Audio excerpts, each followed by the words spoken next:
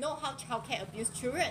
They would have know like every time they go back home, they pick their child up, they will say, oh, how's your day in school? You mean children and parents and mothers, they don't have time to ask this kind of questions before they go to bed?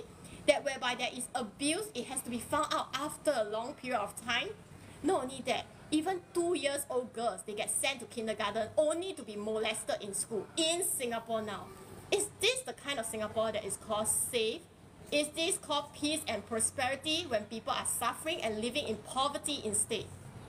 Talking about um, safety and peacefulness, uh, let me let me make this comment.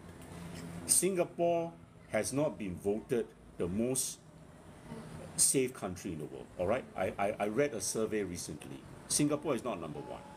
Yet it is the narrative painted by the PAP and their internet brigade all the time. And even Tharman, I think, some months ago or maybe some years ago. Let me put it this way, my friends. I have lived in many countries in my life. Okay, many countries. I have even lived in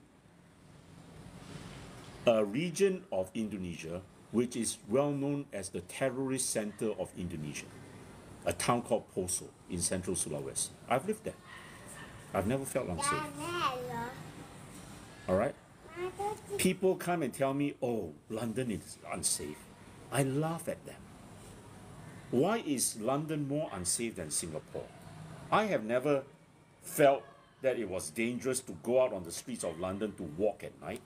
And I used to live, you know, in a part of London, and I used to walk from Regent's Park all the way to Tottenham Court Road to buy newspapers at night, the early morning edition papers.